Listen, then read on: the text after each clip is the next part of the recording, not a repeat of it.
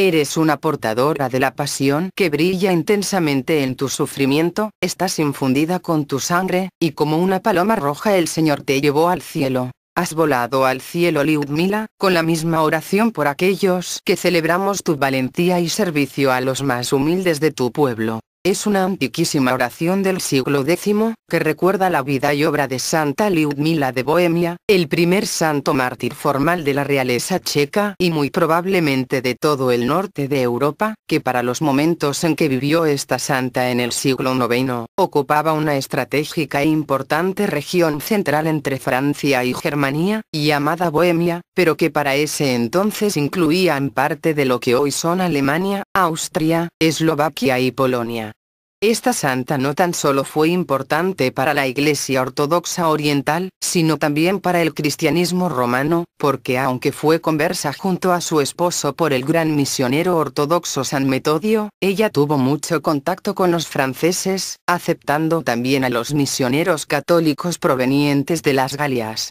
A esto se debe que para el año de su martirio, en el 921, es decir hace 1100 años, su valentía fue reconocida tanto por la ortodoxia como por la cristiandad completa, en un evento que recuerdan la audacia de una reina que falleció defendiendo a su nieto y al cristianismo que ella había profesado casi de por vida sin lugar a dudas, que sus últimos pensamientos y oraciones fueron para la propagación de la fe en Cristo por todo su naciente reino checo. Para la cristiandad en el norte de Europa, la historia de Liudmila es muy similar a la de otra famosa madre y reina dinástica que comenzaba su vida pública, para los momentos en que Liudmila fallecía martirizada, Santa Olga de Kiev porque tal como la santa princesa Olga convirtió a su nieto, el príncipe Vladimiro a la fe del Cristo en el Estado ruso. Eso mismo es lo que había realizado Santa Liudmila con su nieto Wenceslav en las tierras checas a lo que se debe que la fama de esta abuela, trascendería rápidamente las fronteras, de tal manera que la memoria de los santos Liudmila y Wenceslav en Rusia fueran honrados en tiempos tan tempranos como el gobierno del príncipe Vladimir de Kiev, fundador del Estado ruso por lo cual, ya para fines del siglo X se tenía muy claro que los santos Liudmila y Wenceslav de Bohemia, junto a Olga y Vladimiro de Kiev, son santos forjadores de la iglesia cristiana en las tierras del norte europeo. Es por ello que Santa Liudmila del Estado checo, fue una modelo de vida de una princesa, que soportó con gran valentía, todos los devenires de una mujer como cualquier otra que en vida perdió a su marido y a sus dos hijos, pero ella siguió adelante enseñando la fe de Cristo, a pesar de haber quedado sola frente a sus enemigos políticos y su nuera la regenta. Esta santa del siglo IX enseñó a su pueblo a enfrentar y a superar las dificultades, mientras que su ejemplo de valentía enseñó a las generaciones futuras que siempre debemos mantenernos fieles a nosotros mismos, dando a lo mejor que podamos ofrecerle a nuestro Señor y Dios. Sin dejar jamás de dar comprensión, amor y caridad a las personas, sin importar siquiera en lo adverso de las circunstancias. Liudmila de Bohemia, cuyo nombre significa la dama dulce para el pueblo pasó a formar parte del consciente colectivo de su nación, por lo que no es de extrañar la gran popularidad que tiene el nombre de Liudmila en los estados rusos y checos, en donde se la recuerda porque ella debió tomar el poder en al menos dos oportunidades para ejercer como reina regente de transición entre dos reyes, primero entre su esposo y su hijo mayor, y luego durante el gobierno de transición entre la muerte de su hijo mayor y su hijo menor, siendo lo más notable de esta santa que en ambas oportunidades ella aprovechó todo su tiempo en el gobierno del reino de Bohemia, para convertirse en una prolífica constructora de iglesias y propiciadora de misiones de frailes para todos aquellos que aceptaran a Cristo por lo que no resulta ninguna casualidad que para finales del siglo XIX, cuando se inició el proceso de independencia nacional por parte de la República Checa, para conmemorar este evento se construyó en Praga una enorme catedral dedicada a Santa Liudmila, en cuya construcción y diseño participaron casi todas las más afamadas figuras culturales checas. Su imagen ocupa un lugar de honor en el pedestal del monumento a San Wenceslav, instalado en el mismo centro de Praga, en la plaza de San Wenceslav. Y para rememorar este momento, el famoso compositor checo Antonín Borak, compuso en 1885 un famoso oratorio llamado La vida de Santa Liudmila, en donde se la recuerda como la patrona de Bohemia, de los recién conversos, de la propia República Checa, de las princesas y de las duquesas, y en general de las viudas, y de todos aquellos que presentan problemas familiares graves con sus nueras y yernos. Santa Liudmila, nació en el año 860, y desde los 14 años de edad se la desposó con el príncipe San Boriboj I, el primer príncipe del estado premislita cuya existencia está comprobada por las fuentes históricas que es al mismo tiempo el primer príncipe checo en adoptar el cristianismo, luego de que en el año 873, este santo matrimonio fueran bautizados en la fe cristiana por el arzobispo San Metodio de Sirmio, apóstol del pueblo eslavo, por lo que a pesar de que ellos gobernaban un reino totalmente pagano, construyeron la primera iglesia cristiana de Bohemia dedicada a San Clemente de Roma, en el lugar fortificado conocido como Leviradec, situado al norte de Praga. Incluso ahora, debajo del suelo de esta iglesia de San Clemente, remodelada sucesivamente en los estilos gótico y barroco, se conservan los restos de la rotonda original construida por el príncipe Boriboj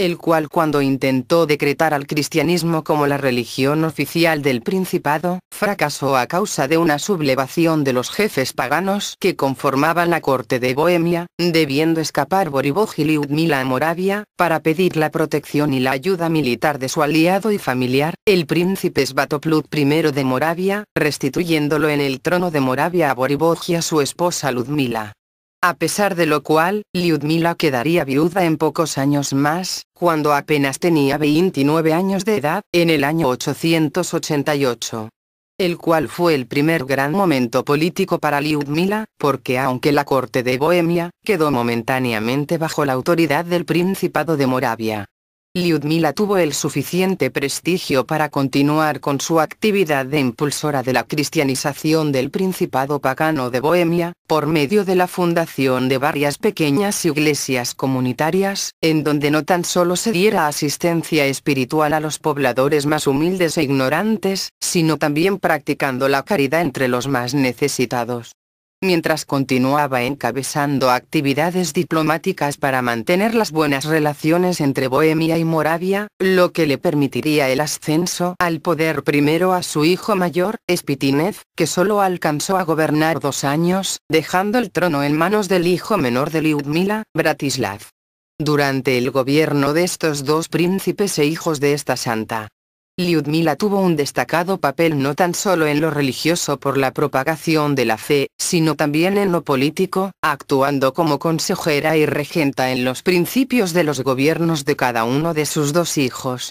lo que permitió una reapertura social para el cristianismo en aquellas tierras del norte europeo. Desafortunadamente la gran influencia política, eclesiástica, y social que había disfrutado Santa Liudmila, por casi 50 años ligada al trono de Bohemia desde que se casó en el año 874, llegarían a su fin en el año 920, cuando fallece su segundo y último hijo varón Bratislav en medio de una batalla en contra de los húngaros momentos en los cuales, la nuera de la santa, Dragomira, hija de un importante jefe tribal pagano, dio a conocer sus verdaderas intenciones y motivaciones, cuando ella fue nombrada regente en nombre de su hijo mayor Wenceslav, se vio respaldada por los cortesanos paganos, que aún gozaban de gran poder en Bohemia.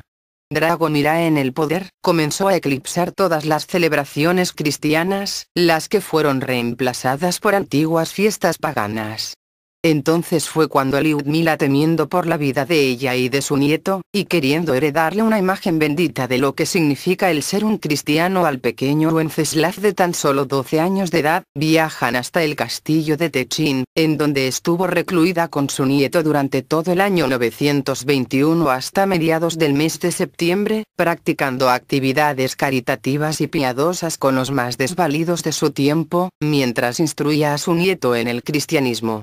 Es entonces cuando Dragomir ha enviados asesinos con un contingente armado que asesinan a Santa Liudmila, ahorcándola con su propio velo de viuda, mientras ella afronta con total fortaleza y silencio su martirio, para que su nieto que dormía en los aposentos contiguos no supiera nada de lo que pasaba. Como último acto de agravio y humillación para Santa Liudmila, los asesinos sepultaron a la mártir en una tumba sin identificar en uno de los muros del palacio el cual más tarde pasaría a ser parte de la nueva iglesia de San Miguel Arcángel. Llevándose por la fuerza hasta Praga al príncipe San Wenceslav I, que jamás olvidó las enseñanzas de su valerosa abuela Liudmila. Poco tiempo después del asesinato martirial de Santa Liudmila, comenzó a popularizarse un cántico del pueblo que decía, Dragomir es comparable a aquella Jezabel que en su saña asesinaba a los profetas. Mientras que la princesa Ludmila remediaba a menudo la miseria de los pobres, prestaba ayuda, alimentando a los hambrientos, refrescando a los sedientos, vistiendo a los forasteros e indigentes.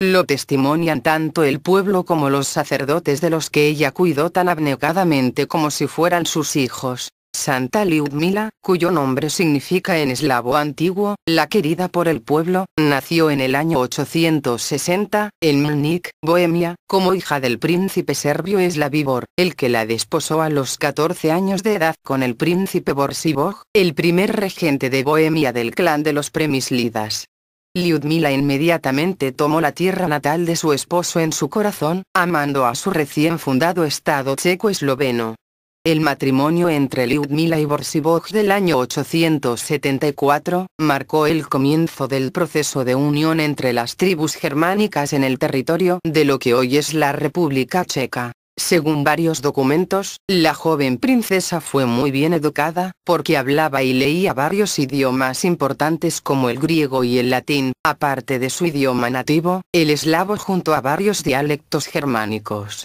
El marido de Liudmila estaba emparentado con el gobernante de Moravia, Svatopolk, con quien había combatido en contra del rey Luis II del Sacro Imperio Germánico. Por lo cual fue recompensado con el título del príncipe de todos los checos, iniciando la construcción de la capital del Principado de Bohemia, Praga y para conmemorar la fundación de esta primera gran ciudad del Principado, esta santa pareja se hizo bautizar al cristianismo por San Metodio, arzobispo de Moravia, en la ciudad de Belerad, convirtiéndose en la primera pareja de príncipes cristianos en Bohemia. San Metodio era un hombre iluminado e impactante que sentó las bases de la modernización de la escritura eslava, era un traductor de griego, arameo, latín y otros idiomas por lo que causó una gran impresión en la pareja principesca. Borziboj junto a su esposa ayunaban juntos, e iniciaron un drástico proceso de cambios con el fin de cristianizar a los paganos, lo que significó el destruir los templos a los dioses tribales, y la prohibición estricta de practicar cualquier tipo de rituales en honor a las anteriores divinidades, lo que despertó el descontento de los sacerdotes y de los más tradicionalistas y ancianos jefes tribales, que declararon como príncipe a Estoimir, un pariente de Borziboj lo que obligó al príncipe junto a su esposa Liudmila a escapar hacia Moravia, bajo la protección de Sviatopolk I, el que a cambio de darle un ejército para recuperar su principado de Moravia, lo declaró como vasallo.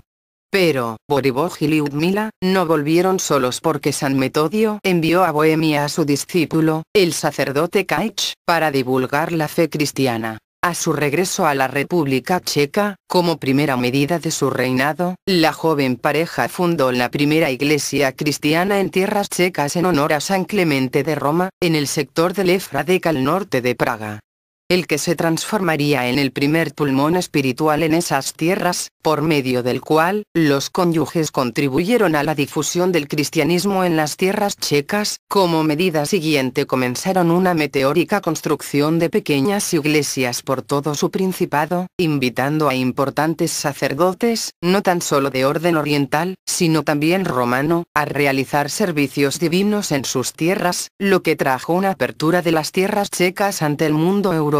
porque Bohemia también comenzó a tener intercambio cultural con el Sacro Imperio Germánico, que tenía como religión oficial al cristianismo romano. Para el final del reinado de Boriboj y Liudmila, se construyó una segunda iglesia cristiana en honor a la Santísima Trinidad en las tierras checas. Como verdaderos gobernantes cristianos, el príncipe Boriboj y la princesa Liudmila se esforzaron por presentar a toda su gente la fe que profesaban, difundiendo el cristianismo y atendiendo las necesidades del clero. Felizmente pronto serían padres de dos hijos varones. Alrededor del año 889, el príncipe Borziboj murió con apenas 36 años de edad, dejando como sucesores en el trono a sus dos hijos, que para esos momentos eran pequeños, llamados Spitignev y Bratislav. Este fue un momento crítico para los checos, porque si Liudmila la joven princesa de 26 años de edad, viuda, quien aceptó el poder como regenta, no hubiese actuado con prudencia frente a dos potencias tan poderosas como Moravia por un lado y el Sacro Imperio Germánico por el otro, la existencia de la dinastía de los Premislidas habría terminado allí mismo y el Estado checo se habría dividido entre esas dos potencias de la época. Sin embargo, la princesa Liudmila dio signos de verdadera inteligencia y astucia política, arreglándoselas para construir relaciones políticas con el príncipe de Moravia y mantener la independencia de Bohemia para sus hijos. Afortunadamente las presiones políticas durarían poco, porque el príncipe Svatopluk murió en el año 894, iniciando la decadencia de Moravia, y el ascenso de Bohemia, lo que fundaría las bases de la República Checa.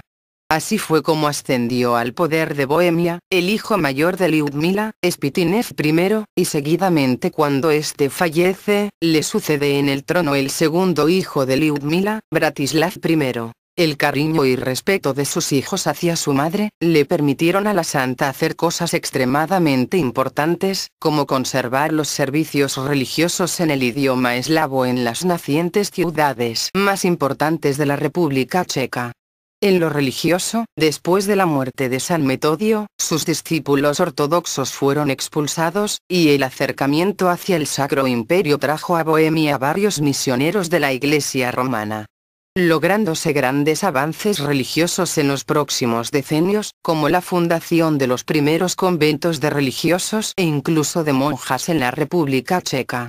Se sabe que Liudmila deseaba la instalación de un monasterio de monjas, el cual correspondió al monasterio de Emaús, perteneciente a la diócesis de Ratisbona, en Praga, el cual desempeñó un papel importante en la vida espiritual del país, en donde hacían los servicios en el idioma esloveno. Bratislav, el más joven de los hijos de Liudmila, asciende al trono en el año 915, luego de la muerte de su hermano mayor. Él era muy similar a su hermano, un hombre amable y religioso, pero de carácter débil, complaciendo en todo a su esposa Dragomira, quien provenía de la tribu pagana de los Liutichi, su padre había sido uno de los grandes enemigos de la cristianización por parte de Liudmila y su esposo.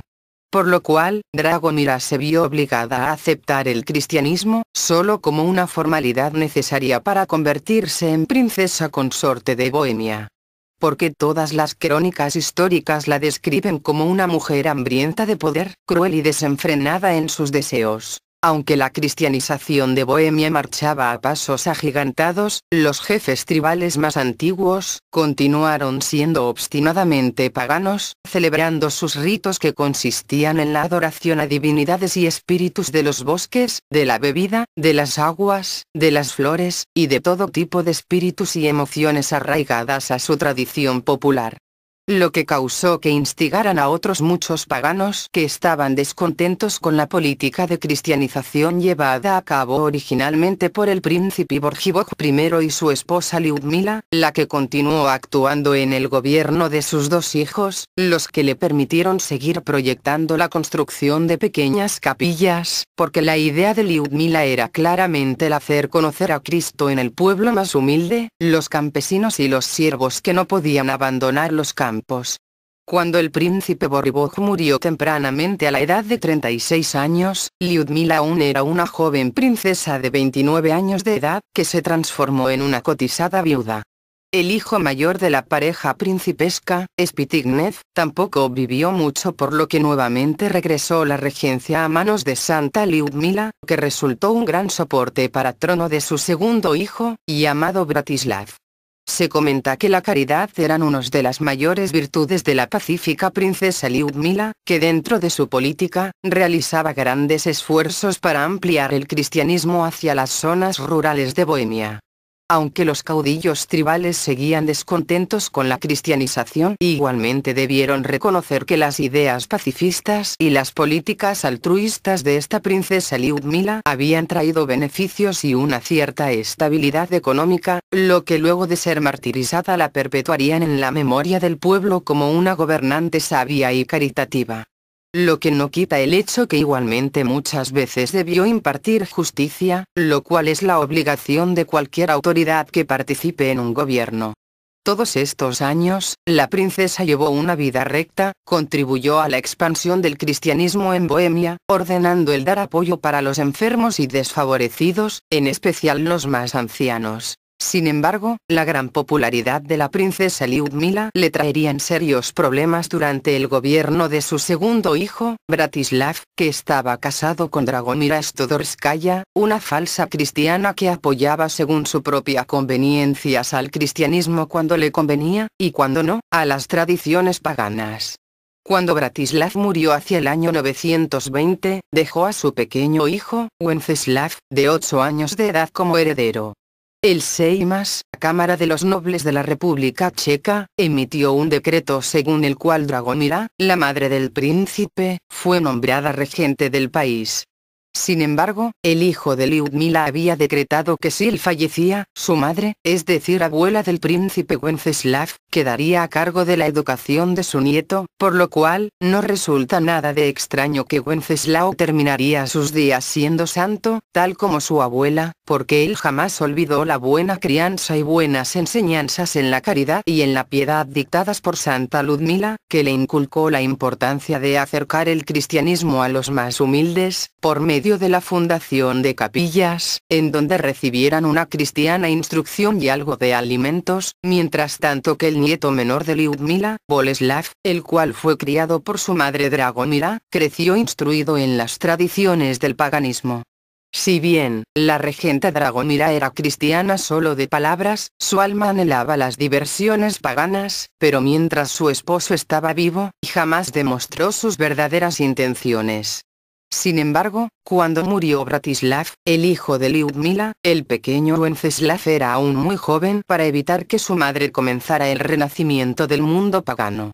por lo cual, en Bohemia, se comenzaron a eliminar las capillas para reconstruir antiguos templos dedicados a ídolos y espíritus, por lo que los recién conversos al cristianismo vivían bajo una enorme confusión, porque empezaron nuevamente a involucrarse en actividades y festividades paganas, entremezcladas con algunas nociones cristianas. Es decir, como el cristianismo estaba teniendo tanto éxito entre los pobladores más humildes, no era raro el instalar íconos e imágenes cristianas al lado de ídolos paganos. Lo cual, trajo muchas confrontaciones entre la abuela Liudmila, y su nuera Dragomira, la cual estaba extremadamente descontenta con su suegra.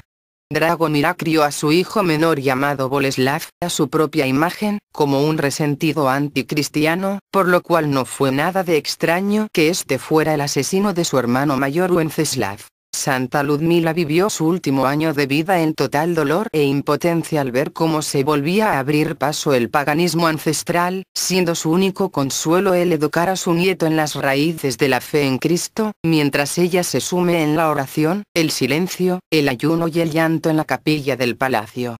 Como una medida desesperada, Ludmila expresó abiertamente frente a toda la nobleza de Bohemia su descontento ante la reinstauración del paganismo, lo cual solo le trajo más odios porque Dragomira que ejercía como regenta contaba con el apoyo de la mayoría de los jefes tribales. Ante lo cual, Santa Ludmila escapa de Praga junto a su nieto Wenceslao hacia el castillo de Techin, en las cercanías de la ciudad de Ratisbona. Aún fuera del poder, la amplia influencia política y religiosa que la santa había significado en el Estado checo por casi 50 años, aún atraía las simpatías de gente común y de la nobleza, por lo cual Dragomira aliada con los más poderosos paganos, decidieron enviar a dos importantes nobles llamados, Tuna y Gomon, los que al mando de un destacamento, sitiaron el castillo de Chetín, lo que significó que entre las noches del 15 al 16 de septiembre del año 921, derribaron las puertas del palacio, irrumpiendo en las habitaciones de Liudmila que se encontraba orando en la capilla.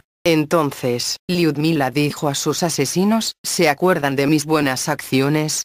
Por favor si algo bueno he realizado por el bien de estas tierras, les pido que me den la muerte con una espada, para que junto con los mártires, yo también pueda derramar y ofrecer mi sangre por Cristo. Pero los asesinos, sabiendo que el derramamiento de sangre entre los cristianos era condición indispensable para el reconocimiento del martirio, estrangularon a la princesa. Según la tradición, el velo de la princesa se utilizó como arma homicida, que luego se convertiría en el símbolo de Santa Liudmila. Siendo enterrada debajo de la muralla de la ciudad, como otra forma más de humillarla. Wenceslav, afligido por la pérdida de su abuela mártir, sucumbiendo a los hábiles consejos de los boyardos, primeramente exilió a su madre Dragomira a la ciudad de Budech. Pero pronto el príncipe, recordando la educación cristiana otorgada por Santa Ludmila, pensó acerca del mandamiento de honrar a los padres, se arrepintió, se dio cuenta de que no tenía derecho a juzgar a su madre, la llamó de regreso a la capital y la rodeó con respeto y amor. El corazón endurecido de Dragomira se conmovió por la bondad de su hijo cristiano, entendiendo con una nueva mirada espiritual todo el horror del crimen que ella había cometido y como pecadora arrepentida volvió a la fe cristiana. Entonces se cuenta que Santa Liudmila, se presentó en sueños, para decirle, Hija, el amor cubre todos los pecados tal como lo dicen las santas escrituras, enmiende vuestros errores, es entonces cuando habiendo entendido esta verdad, la princesa Dragomira se convirtió al cristianismo, transformándose en una fiel ayudante de San Wenceslav en asuntos de Estado y en asuntos de piedad. Para el caso de Santa Liudmila, milagrosamente una vela encendida apareció sobre la tumba de la mártir todas las noches, y un ciego recuperó la vista solo tocando el suelo en el que yacía el cuerpo de la princesa.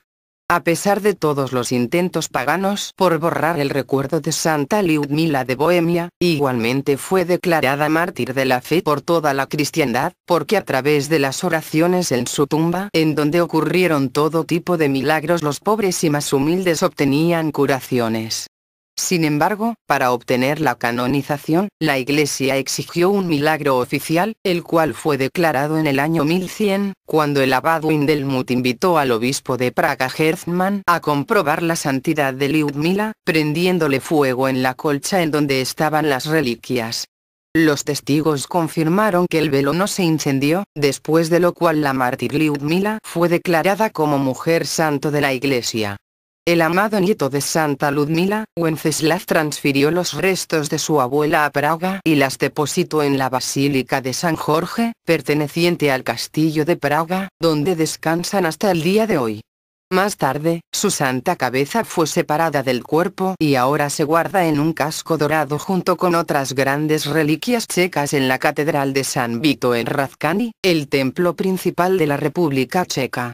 La construcción del templo fue iniciada por el nieto de Santa Liudmila, llamado Václav, que después de su muerte pidió ser enterrado en uno de los límites del templo, cerca de su santa y valiente antecesora. La iglesia de San Jorge el Victorioso, en la que el príncipe Wenceslav depositó las santas reliquias de su abuela, fue una vez la iglesia ortodoxa más antigua de Praga. Luego se convirtió en catedral católica y desde fines del siglo XX, se considera como museo. En 1981 se procedió a la investigación médico-antropológica de los restos mortales de la princesa Liudmila. Dicha investigación estaba relacionada con la exposición, celebrada en 1982 en la Basílica de San Jorge y denominada Los más antiguos premislitas a la luz de la investigación antropológico-médica. Al ser abierta la tumba de Santa Ludmila, se verificó que sus restos mortales estaban guardados en una caja de plomo y envueltos en tela. El cráneo se guardaba separadamente en el tesoro de la Catedral de San Vito. La investigación médica llegó a confirmar que Ludmila había muerto a la edad de 60 o 61 años. Lo cual se condice perfectamente con las actas martiriales de la santa. También existen reliquias de esta santa en la iglesia de la Santísima Trinidad en Praga, en la iglesia de San Nicolás de Kotelniki en Moscú, y en la iglesia de San Vladimiro en Balam. Santa Liudmila tiene diferentes fechas de celebración a causa de su amplia popularidad medieval, siendo la principal la del 16 de septiembre, aunque también se la recuerda los días 14 y 15 de este mismo mes, y también el día 29 de septiembre. Oración a la mártir Liudmila, Santa y Sierva de Cristo. Princesa Liudmila, primer mártir del pueblo eslavo en las tierras checas y de la ciudad capital de Praga, eres un adorno cálido para nosotros ante Dios, como un humilde libro de oraciones, he aquí que nosotros pecadores, humillados, rogamos a ti para que intercedas con el fin de que no perezcamos en el barro de nuestros pecados, ofreced una oración por nosotros al Señor, para que Él tenga misericordia de nosotros y nos conceda el arrepentimiento y nos lleve a la vida eterna. Buena Madre Liudmila. No olvides de rogar por los hijos de esta tierra desde el monasterio celestial, en donde adoras al único Dios vivo junto a tu nieto, el santo mártir Wenceslav. Rogad por nosotros los pecadores, para que Dios Todopoderoso tenga piedad de nuestros hijos, nuestras familias y sobre todos de nosotros, así también nosotros los pecadores, podremos dar gracias al Señor por darnos sus bendiciones, para que junto a ti glorifiquemos al Padre, al Hijo y al Espíritu Santo, por los siglos de los siglos. Amén.